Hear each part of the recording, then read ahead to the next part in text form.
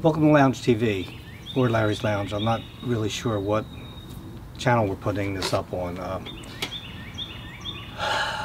this is probably the hardest video that I've ever gonna I've ever made or I'm ever going to make. Hopefully, um, everybody knows about um, by now. Most people anyway know that uh, my sister passed away, Jackie, Aunt Aunt Jackie, Aunt Wacky, Wacky Aunt Jackie, whatever you wanted to call her.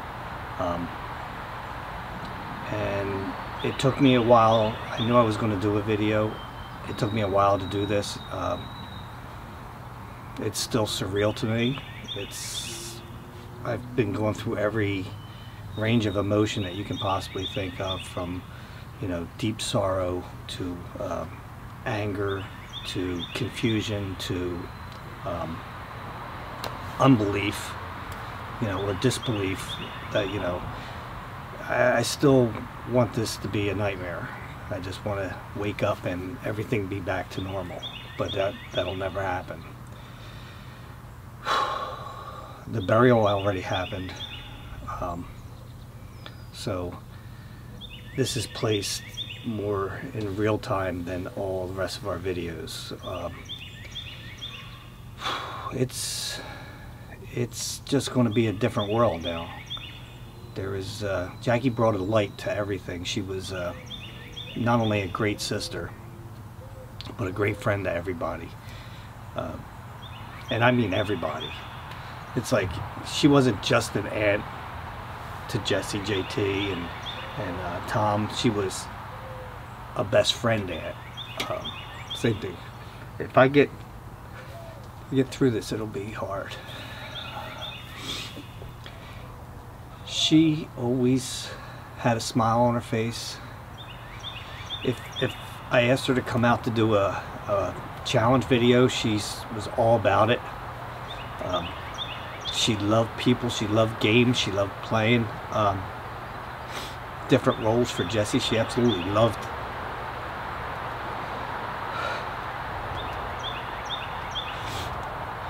you know I also you know I know there's going to be ads on this video and you know I'm going to have the haters come on and say stuff and I don't really care. I know that if I didn't put ads on this video a big hand's going to come out of the sky and smack me upside the head and say what what are you doing? Jackie was all about the business of the of the making videos and everything. Um, she loved she loved interacting with you guys. I know she wasn't very active on Twitter lately, but I know that she she talked to a lot of people and touched a lot of hearts. Um, the chickens are trying to say that say something too, and uh, I want to share something with you guys that uh,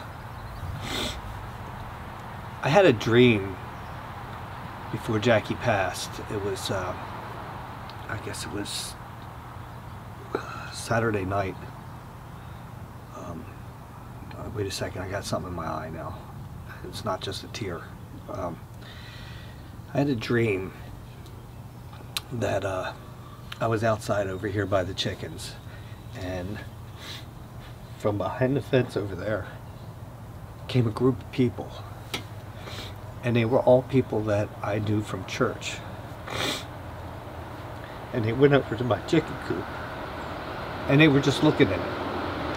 There wasn't any interaction or anything. It was just they were looking. And then somehow my dad was there. My dad went and I put it this way. I, I think it was my dad. I never really looked at his face. I just had the sense that it was him. And the next thing I know, he put a chicken, took it out of the pen and put it on the ground, and the chicken flew away.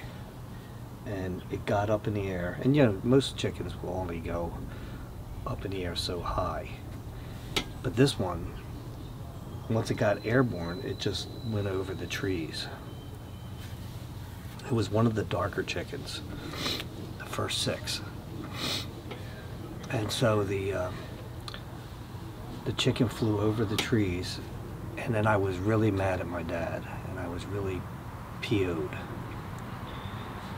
So uh, somebody said, and it was somebody that was over by the, the chicken said, you know, once once a chicken leaves here, it goes over there, you won't, you'll never find it again. That was the dream. I didn't think nothing of it. I, uh, I just figured, okay, that was weird. I wasn't thinking about the chickens that day or anything like that. Um, my dad, I never saw his face in it, but I sensed that it was my father. And the other people from church, you know, I haven't even, you know, seen them in a long time.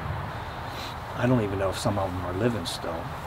But uh, afterwards, I, I, even on Sunday when Jackie was in the hospital, and that was Easter Day, we were sitting there, um, you know, in, uh, over Terry's house, and we were all talking and everything. I before I went there, I had text Jackie, and I was talking to her, and I said, because she was supposed to make potato salad, so it was like, if you want, didn't want to really make potato salad, you could have just told us. You didn't have to go through all this, kidding around with her, because that's what I do. I make jokes. Um, and she laughed. And, uh, you know, I got the LOL and the laughing emoji. And then after that, I had told her, I said, we're going to miss you at the festivities today. And she said she's going to miss us too. And then uh, I texted her, I think you're faking the whole thing because you want to just, or you don't want me to whip up on you in cornhole, kidding around, because Jackie was the most competition I had in cornhole out of anybody that I know. I know there's a lot of people that are better than I am, but uh, we had battles. I mean, we were we were right there. She'd beat me most of the time. Um, and then the last thing that she put was the thing, but uh, she was also talking about, we were talking about her condition, and she has, uh, she has sluggish blood and uh, that's what my dad had. She had this this Jack two factor, like, uh, and it gives you sluggish blood. And uh, I told her, I said, "Yeah, Dad got you, right?" And she said, "He sure did." And then I told her about the dream, um, and she she laughed at it because I got mad at my dad in it. Uh, and the next you know, and to tell you a little bit about what was going on is she had went the week before to the hospital and she she said told them that she thought she had a blood clot in, in her leg and uh, I guess they ran tests and said she did. So a week later, or not even I don't even know if it was a week. I don't have all the the details about this. Um, but she went to the hospital and uh, they found a blood clot behind or in her knee or I don't know if it was behind or where and one in her lung. And uh, she was supposed to have a procedure on um, April 1st to have it removed from her lung. I guess they were going to go up a some kind of vein or something like that. And she was nervous about it. But we're all, okay, it's serious, but, you know, they're going to take it out, no problem. She's only, you know, 62. She's not old. She has a lot of years left. And, uh, Monday morning, I get a phone call from Terry, and you know, it was crying and just said, you know, they're doing chest compressions on her. So I ran out the door and I ran over Terry's, and then we went to the hospital. But before we even got there, um, my niece, her daughter, had told me that she passed. So. Um, I, we don't even know all the particulars, like the doctors have been not forthright or, or, or information got lost somewheres from when they told Chuck or, or, or uh, something. We haven't gotten all the details from, because no, when, when we were there at the hospital, no doctors came to tell us what happened or anything. So all we know is that she passed, and so we assume that the, the blood clot must have went to her heart. But uh, the reason why I'm telling you about the dream is because it was after that that I realized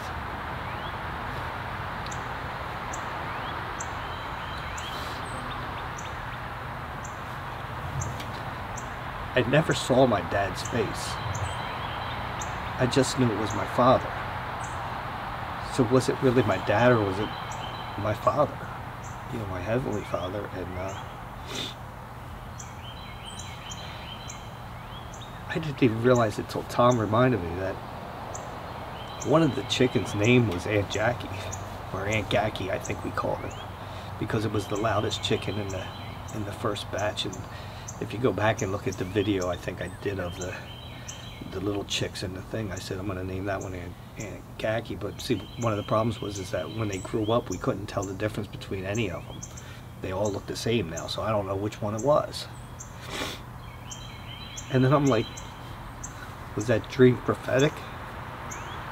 I don't know. You can you can kind of say a lot of things about different things, you know, after the fact and all that stuff, but uh, I don't know. I really don't know. I, I'm still trying to make sense of the whole thing. Um, I told you guys before we lost the we lost the light in this world. It got a little dimmer.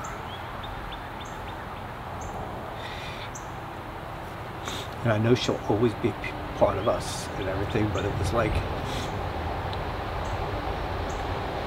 she was somebody that could always make you smile or make you laugh. Me and her went in hysterics, and Terry went in hysterics. It, we were closer than most siblings because we worked together also. Um, we we did everything together just about. We went on vacations together. We we played games. We never grew up. we just loved to play games. Any kind of game you can imagine. I, I can't even imagine playing croquet again. It would never be the same. I can't even imagine playing cornhole again because it'll never be the same without her there. She was competitive, but she was good. She was actually beyond good. She was better than most.